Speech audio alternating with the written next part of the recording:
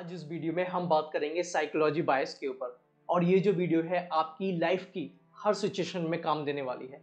इसलिए इसको जितना जल्दी हो आप समझ जाएँ, मैं सच बता रहा हूँ, है ना? तो साइकोलॉजी बायस क्या होता है? साइकोलॉजी बायस एक ऐसी चीज़ है जिसकी वजह से हमारा माइंड सही डिसीज़न नहीं ले पाता। जी हाँ हम जो भी डिसीज़न लेते हैं, वो सब गलत होते हैं। क्योंकि ये बायसेस मेंटल शॉर्टकट्स की तरह काम करते हैं, जिसकी वजह से हमारा ब्रेन कॉम्प्लेक्स सिचुएशंस को समझने में हमारी मदद करता है, जो कि हमें लगता है यू नो जबकि ऐसा होता नहीं है। इसी वजह से हम सब लोग फंस जाते हैं। एक एग्ज़ाम्पल से समझते हैं। मान लेते हैं कि हमारा जो ब्रेन है, वो कंप्यूटर की तरह काम करता है। यानी कि कंप्यूटर है, जिसमें यू नो इन्फॉर्मेशन है डेटा है फाइल्स हैं, है ना? तो हम अगर जो भी काम करते हैं डेली बेसिस पर कंप्यूटर में तो कहीं ना कहीं उन फाइल्स को यूज़ करते हैं। यू नो रिपीटेटिव जो हमारे पास इंफॉर्मेशन है, वही यूज़ हो रही है बार बार तो ये जो फाइल्स हैं ये जो इन्फॉर्मेशन है ये ही बायस है एक्चुअली यही अगर हम माइंड से ब्रेन से कंसिडर करें तो बायस है. यानी हमारे कंप्यूटर में तो ऑप्शन है यू नो डिलीट करने का फॉर्मेट करने का. लेकिन आपके माइंड में जो इन्फॉर्मेशन चली गई है बचपन से लेके अब तक सेंसेस के थ्रू उसको कैसे आप डिलीट करोगे?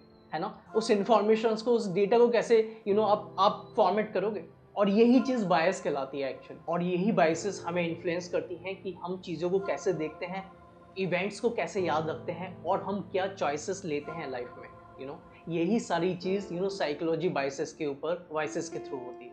और ये बाइसेस हमारे thoughts action behaviour decision making और जजमेंट इन सब के ऊपर अफेक्ट डालती है, जिसके बारे में हमें पता ही नहीं होता।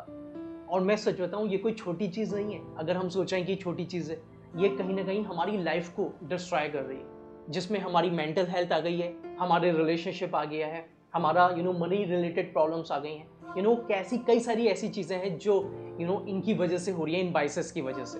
इसलिए साइकोलॉजी वाइसेस को जानना बहुत ज़रूरी है मैं सच बता रहा हूँ ये कोई स्मॉल टॉपिक नहीं है। It's a very huge topic to understand because हम डेली इवन बचपन से लेके अब तक हम बाइस के थ्रू ही अपनी लाइफ को चला रहे हैं। हम कभी राइट right डिसीज़न पर पहुँच ही नहीं पा रहे हैं। बहुत कम टाइम होता है जब हम यू you नो know, सही डिसीज़न ले पाते हैं। इवन आप लोगों ने भी देखा होगा जो भी डिसीज़न लेते हैं कहीं ना कहीं you know old pattern old thinking और जो फाइल्स पड़ी हुई हैं पुरानी उन वज, उनकी वजह से लेते हैं और बाद में हम जाके फंस जाते हैं हम सब लोग है ना? यही हम सबके साथ हो रहा है इसलिए बहुत ज़रूरी है कि हम अपने थॉट पैटर्न्स को समझें इन साइकोलॉजी बायसेस को समझें जिससे हम एक राइट डिसीज़न और बेटर चॉइसेस ले सकें। और ये ज़रूरी भी है इसलिए हमें अपनी जो मेंटल सॉफ्टवेयर है जो ब्रेन है उसके अंदर जाके यू नो फाइंड करना है कि क्या एरर्स हैं क्या ऐसे बग्स हैं जिसकी वजह से हमारे सब डिसीज़न गलत ही हो रहे हैं। हम जाकर फंसी जा रहे हैं है ना? तो उनको फाइंड करें और एक एक करके उनको सही करें।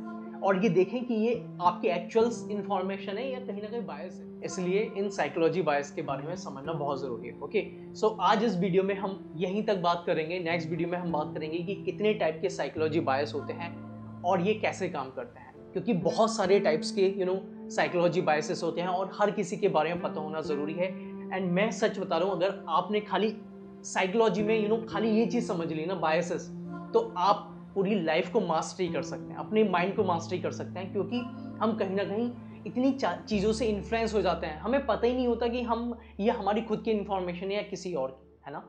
तो अगर आप इन बायसेस को समझ जाते हैं एक एक करके, और उसको अगर आप लाइफ में अप्लाई करते हैं तो आपकी ग्रोथ पक्का ही पक्का है है ना? Thank you